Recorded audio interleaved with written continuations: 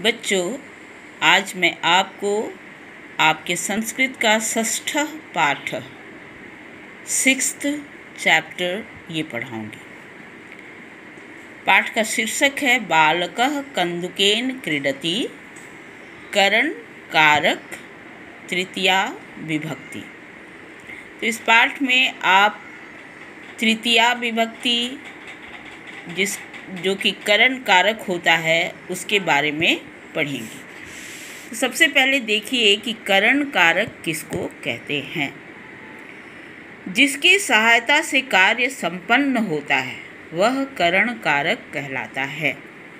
करण कारक में तृतीया विभक्ति होती है, इसका चिन्ह से और के द्वारा होता है।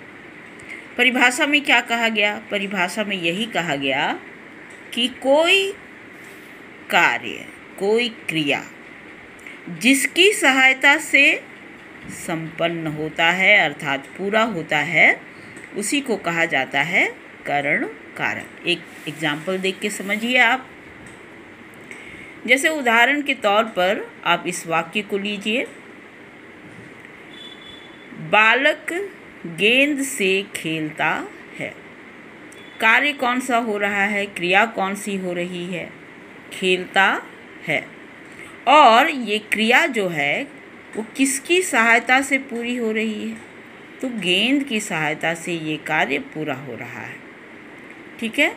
तो यहाँ जिसकी सहायता से कार्य पूरा हो रहा है, उसी को कहा जाएगा करण कारक। वही होगा करण कारक। और देखिए यहाँ पर इसका चिन्ह से भी आया है। तो गेंद से जो है, वह है करण कारक। अब तृतीया में गेंद शब्द का शब्द रूप अगर आप देखिएगा तो शब्द होंगे कंदुकेन, कंदुकाभ्याम कंदुक एक वचन द्विवचन, बहुवचन।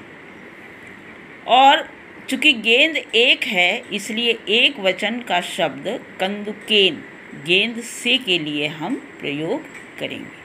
तो इस तरह से इस वाक्य का अनुवाद हो जाएगा, बालक कंदुकेन क्रीडति, बालक गेंद से खेलता है। ठीक? अगला वाक्य, बालका कंदुकेन क्रीडंती, बालक बहुत सारे हैं। बालक गेंद से खेलते हैं। अगला वाक्य, विवेक कलमेन लेखम लिखती। विवेक कलम से लेख लिखता है। सह कलमेन लेखम लिखती, वह कलम से लेख लिखता है। अगला वाक्य, अहम नेत्राभ्याम पश्यामी। देखो, आँखें हम जो, हम जिन आँखों से देखते हैं, वे आँखें हैं दो। इसलिए यहाँ पर द्विवचन का शब्द प्रयोग में आया है। द्विवचन नेत्राभ्याम। मैं आँखों से देखता हूँ। अहम चरणाभ्याम चलामी। मैं पैरों से चलता हूँ। आगे। पुत्र जनकेन सह। आपणम गच्छति। ये हो गया पुत्र जनक के साथ मतलब पिता के साथ। बाज़ार जाता है। यहाँ एक चीज़ ध्यान रहे कि स, ह सह संस्कृत का ये शब्द है, इसका अर्थ हिंदी में होता है साथ। लेकिन यहाँ पर एक संस्कृत का नियम लागू होता है कि ये स शब्द जिसके साथ जुड़ा होता है, उसमें तृतीया विभक्ति होती है। जैसे, पिता के साथ। तो साथ शब्द, सह शब्द किसके साथ जुड़ा है? पिता के साथ। इसलिए पिता में तृतीया विभक्ति हो जाएगी। और इसका मीनिंग होगा, पुत्र पिता के साथ बाज़ार जाता है। अगला वाक्य माला कारा मालाकारः जलेन वृक्षान सिंचती माली जल से पानी से वृक्षों को सींचता है। गज शुंडेन शाखा त्रोट, त्रोटयति। मतलब हाथी सूंड से डालियों को तोड़ता है। शिशु क्रीडनक क्रीडति। क्रीडनक इसमें बहुवचन है। ठीक है? ये बहुवचन शब्द है तृतीया का। और इसलिए इसका अर्थ हो जाएगा, शिशु खिलौनों से खेलता है। अगला है बालकाह परिश्रमेन पठंती बालक परिश्रम से पढ़ते हैं। राधा सीतया स संभाषण करोति।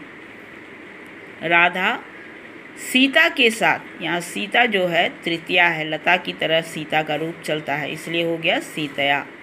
राधा सीता के साथ बातचीत करती है। अक्षय बस यानेन विद्यालय गच्छति। यानेन किसी भी वाहन को कहा जाता है, किसी गाड़ी को कहा जाता है। और इसलिए बस यान शब्द का प्रयोग हुआ है। अक्षय बस से स्कूल या विद्यालय जाता है। तत्र सह परिश्रमेन पठती। वहाँ वह परिश्रम से पढ़ता है। सह सह मित्र सह। वह मित्रों के साथ संभाषणम अपि करोति। बातचीत भी करता है। अगला है, दूरवीक्षणेन, सह दूरवीक्षणेन खेलम पश्यति। वह इसका दूरवीक्षणेन मतलब दूरदर्शन से टी भी से। तो दूर वीक्षणेन का मतलब होता है दूरदर्शन से। वह दूरदर्शन से खेल देखता है संगणकेन स्वकार्यम अपि करोति। संगणक कहा जाता है कंप्यूटर को। तो संगणक से, कंप्यूटर से अपना काम भी करता है। तो यहाँ पर आपका इस पाठ का हिंदी अनुवाद समाप्त हो गया। ये अनुवाद आप वीडियो से सुनिए और जो पीडीएफ में इसका अनुवाद मैं आपको भेजूँगी, उसे आप अपनी संस्कृत की कॉपी में लिख लीजिएगा।